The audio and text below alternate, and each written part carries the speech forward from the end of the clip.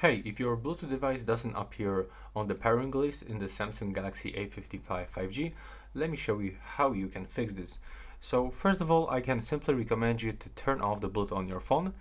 And next, you have to move into your device. So in this case, I'm using the Huawei earbuds.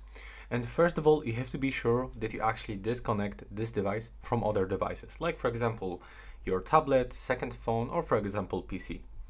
When you disconnect your device uh, from any other devices, you have to enter for the pairing mode. So in my case, it looks like this, that I have to click and hold this button and wait until this indicator starts blinking white.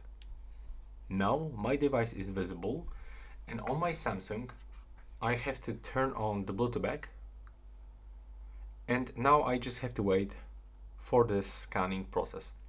As you can see, I can find a few devices around me and I can simply click on the Huawei FreeBuds 5i and connect it straight. So I have to click pair and this is it. As you can see, everything is fine. My device is visible and I can easily connect it. If it doesn't, uh, if it doesn't work, you can also try to reset all of the Bluetooth settings by going into the settings you will actually start from this screen. So you will have to scroll down all the way down, move into the general management. Then you have to go into the reset option.